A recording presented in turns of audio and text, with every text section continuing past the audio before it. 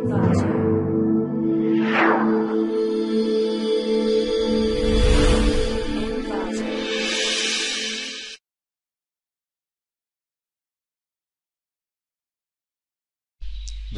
to clickmyproject.com. Let's discuss about the product.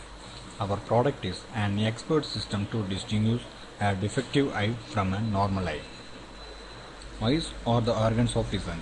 Detection of most common differentiating characteristics of eye diseases from the fundus images of the retinal can be a good approach as an automatic and low cost method for broad classification initial screening. For example, in early diabetic retinopathy, the detection enables application of modern treatment in order to prevent or delay the loss of vision. The paper has referenced diabetic retinopathy and retinitis pigmentosa for analysis purpose. Automated approaches for detection of microaneurysms in digital color retinal fundus photographs helps ophthalmologists to detect the emergence of its initial symptoms and determine the next immediate action step for the patient.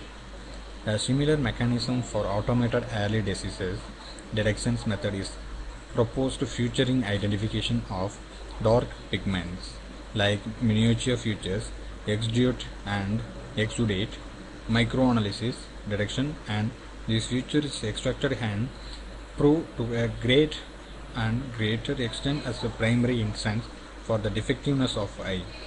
A good number of images along with the response from the ophthalmologist has proved to be a great help towards the observation as derived from the mechanism and discussed in the paper.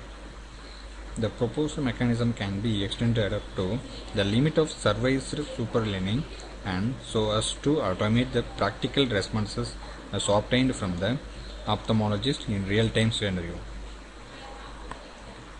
Diabetic retinopathy, the most common deaf eye diseases occurs when blood vessels in the retina changes. It is found to be the leading cause of visual impairment. In the present day world, sometimes these vessels swell and leak fluid or even close off completely. In other cases, abnormal new blood vessels grow on the surface of the retina. The presence of the microannular systems in the eye is one of the early signs of diabetes retinopathy. The longer time a person has diabetes, there are greater chances that he or she might suffer from this disease. Diabetic retinopathy usually affects both eyes. People who have diabetic retinopathy often don't notice changes in their vision in the early stages. But as it progresses, diabetic retinopathy usually causes vision loss that in many cases cannot be reversed. Many methods have been proposed in order to get an accurate blood vessel detection and segmentation in fundus image like multi-layered threshold technique to segment the vessels. Usage of scale-oriented selective Gabor filters to detect the abnormal blood vessels. The previous automation techniques were limited to a real-time quality measurement of the captured images. Later, automation included Bayesian detection and automatical future logistication and these can be the basic for the supervised disease stratification methodology implementing.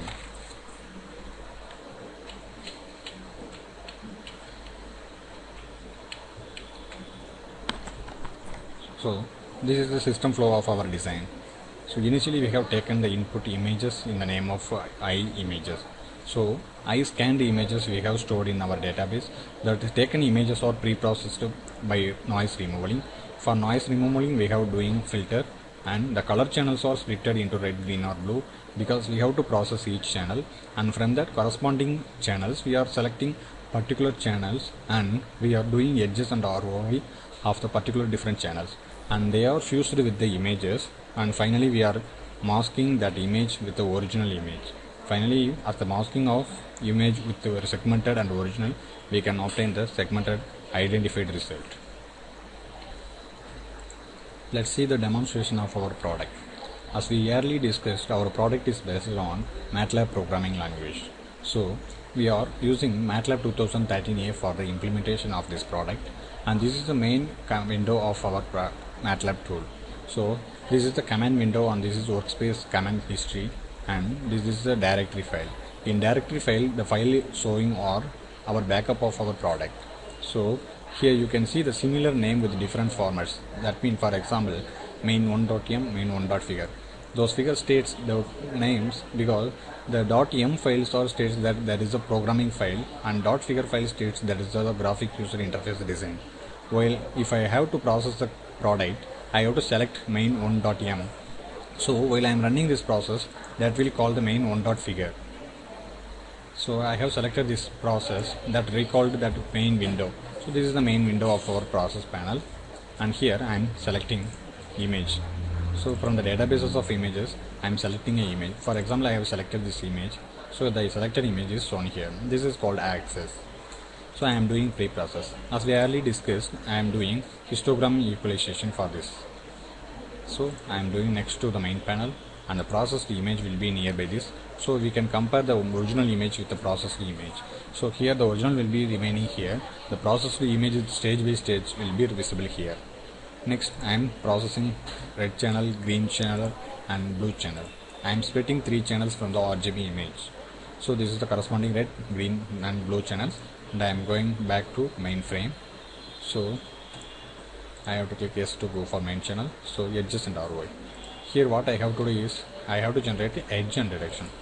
So I have processing edges. So edges are processed from the red channels because of the visual impression and visuality and ROI is extracted from the green channel.